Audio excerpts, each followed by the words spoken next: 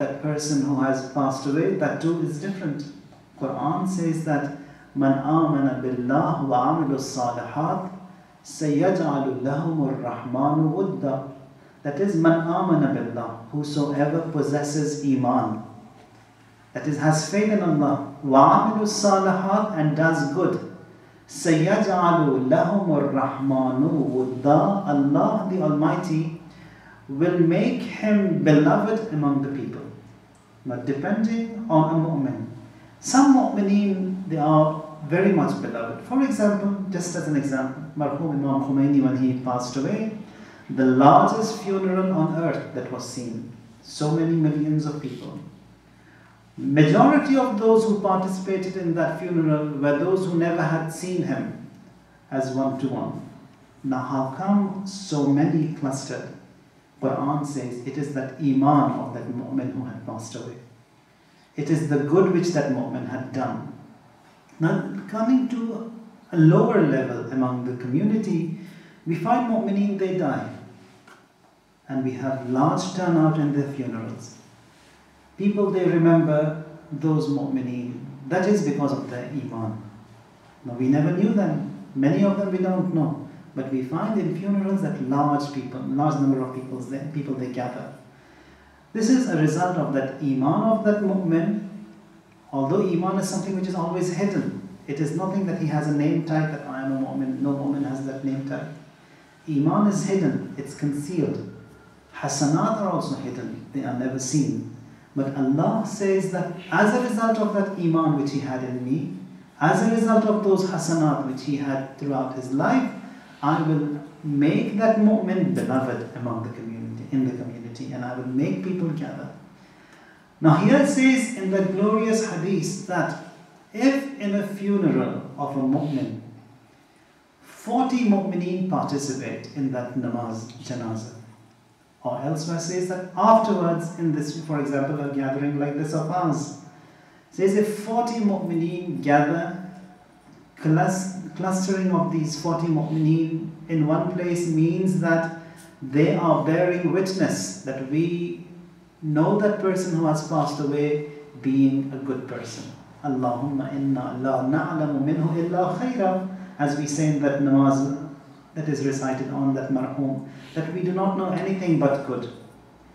That is something that we have to learn that only the positive has to be seen, only the good has to be seen. If there was any negative in someone, that has to be hidden. If we look into the good of others, Allah will look into the good of ours.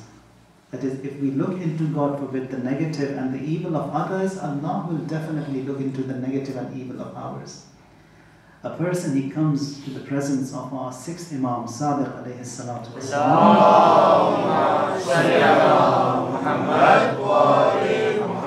and says, Yabna Rasulullah, I borrowed an X amount of money from one of the mu'mineen here in Medina, who is a well-wisher of yours, a mu'min of yours he's being a bit tough on me.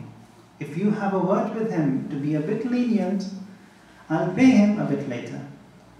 Imam summons the other mu'min, the creditor. He comes and says that you have lent it an X amount to that fellow mu'min. He is in a bad shape at present. He can't repay you. Be a bit lenient towards him. He says it's my money. I want all of it. To the last penny I will take off him. I won't let him go.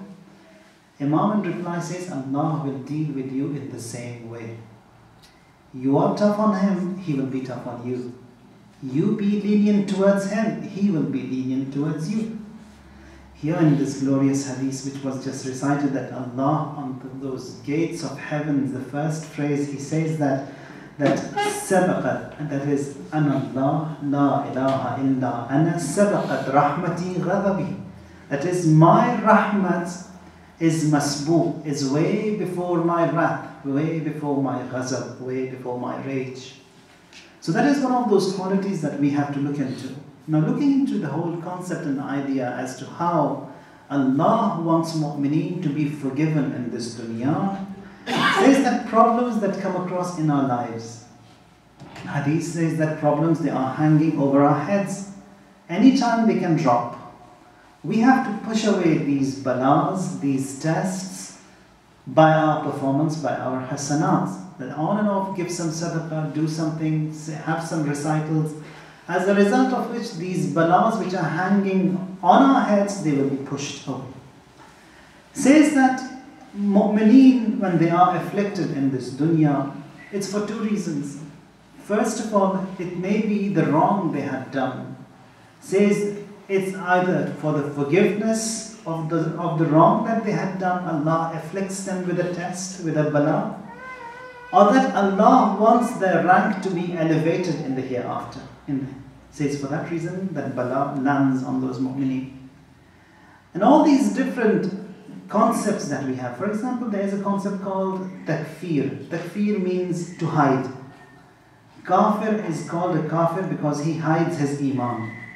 We have a chapter called Bab Takfir, that is how the a'mal of mu'mineen are hidden. The wrong they have done is hidden. Says that when, first of all, when a person who has lived a life as a kafir, for example, and at the age of 70, he embraces, becomes a Muslim. Now he just said La ilaha illallah Muhammad Rasulullah sallallahu alayhi wa wa sallam.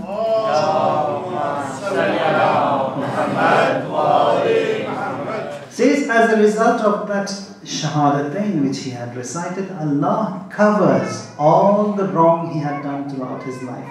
That is 70 years of wrong, one formula, one recital of La ilaha illallah makes him a Muslim as a result of that recital, the wrong he had done is all hidden. Second says that someone who has stepped in the way of Allah or who is killed in the way of Allah, the first drop of his blood which has dropped from his body onto the ground says as a result of that first drop he is forgiven. Allah forgives. That is that grace of Allah, rahmat of Allah. Says because he has gone through that pain that is all he possessed is that life. That life is given in the way of Allah. Says, for that reason I will forgive him. Sometimes says that old age, people they become old. As a result of that old age, says Allah forgives them for that old age of theirs. And even in this old age, it, whatever we do throughout our life in our young age, for example, I was used to prayers, to namaz, to Quran, to mustahabbat, to du'as. Now, as a person grows old, he gets broken down and he cannot continue with this same pattern that he had throughout his life. He cannot offer his prayers. All these aches and joints and all those problems that come across. He wants to read. Eyesight doesn't allow him. He wants to concentrate on du'as. You've got children running around, they won't let him concentrate.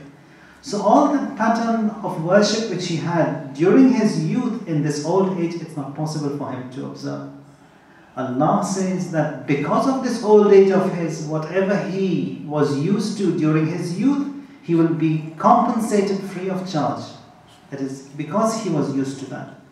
For that reason, we have we are told that this ons of ours has to be to these issues, to du'as, to Quran, to prayers, to majalis, to serving, etc. As a result of that, this pension scheme that we have is also here in this field of spirituality. He says, whatever our plan here it was will be the same when we get old. If we do nothing, we will be paid for that. Says that as a result of that old age, Allah forgives. Marhum Ayatullah Mianji, he says that one of the great ulama who passed away just last year, he said that once he mm, was passing and there was an old man and he had many rooms to let for many who used to travel like these musafir khanas and motels you have here. And that he was a good, good person. So people when zakat becomes a wajib on them, they pay. He says that whatever that zakat he had to pay, he paid in many folds more. Sometimes a land was given as zakat, much more than the price that he had to pay. He says that that night I was there in that motel of his, and it was the night of Ashura, and in those days he held majalis.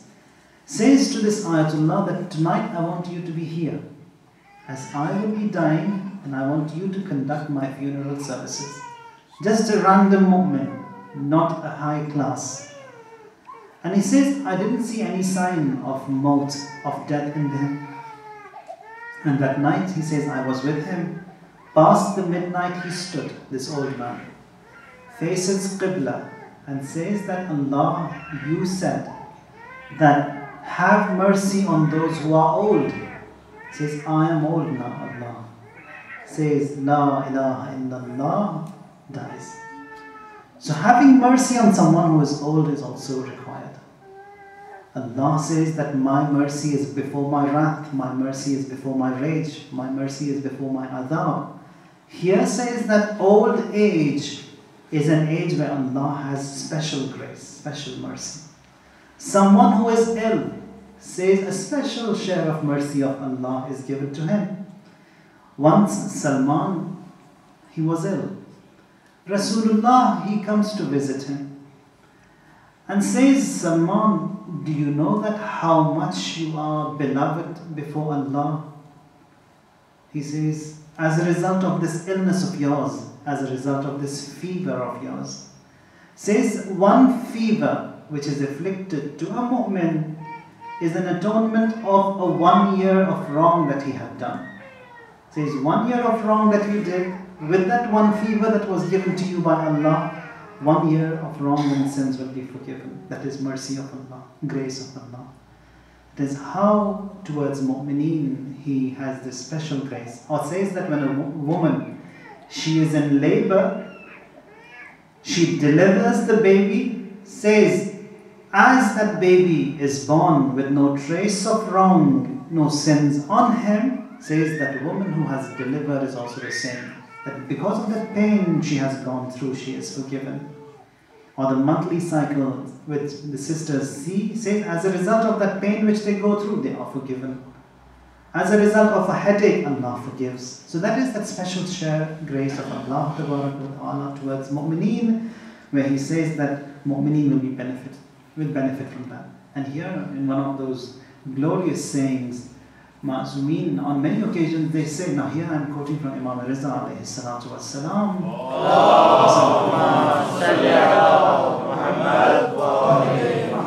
Imam says that mu'mineen, whatever benefit they will get from ma'sumin is yet to be seen. Whatever is seen,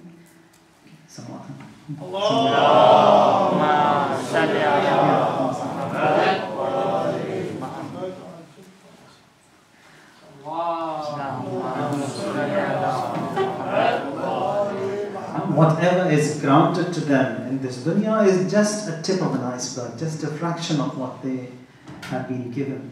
Says that when a mu'min dies and when he departs from this dunya, it is only then when those special favors of ma'sumin will be given to them. So mu'min, is great. And towards mu'mineen, Allah has special grace. So when that special grace, and even if you look into the teachings of Ma'asumin, for example, in Nahj al-Balagha, and I did mention this on and off, uh, maybe here as well, there on one occasion, Rumayla, one of the companions of Amir al-Mu'mineen, he had fallen ill. And he couldn't come out of his house for many days. Since it was Friday and I was feeling a bit better and that temperature, that fever wasn't there, and I said to myself that the best thing I can do today is just perform a wuzu and say my prayers behind Amir al-Mu'mineen. What better ibadah than worship could be than those Jummah prayers behind Amir al-Mu'mineen. He says, I was a bit better, performed wuzu, came to masjid, said my prayers. After the khutbah, that that fever of mine, it just came back and I was shivering all day. Everyone left the mosque. The last to leave was me with Amir al-Mu'mineen. And then Amir al-Mu'mineen said to me, Rumayda, you don't look well, you are pale. He says, Yes, Ya Amir al-Mu'mineen, I was ill. And then Amir al-Mu'mineen says that yes, any mu'min anywhere on this planet, on this globe, when he fell ill, we fell ill. When he is hurt, we are hurt. When he is sad, we are sad. When he raises his hands for du'as, we say Ameen first. That is that special bond, special mercy of Mu'min with Amirul Mu'mineen. And today, Mu'min with Imam Asr. So towards Mu'mineen there is that special grace, وَكَانَ بِالْمُؤْمِنِينَ رَحِيمًا And Allah has that special grace towards Mu'mineen. So when a Mu'min passes away, it is a sad occasion, but at the same time, for Mu'min himself, he is happy. He is relieved from this dunya, from the pains of this dunya. No matter how much good we see in this dunya, everything is bad. The best of the foods and drinks over here, we think they are good. Now, how do we compare the good, best of the feasts here? To understand to the hereafter,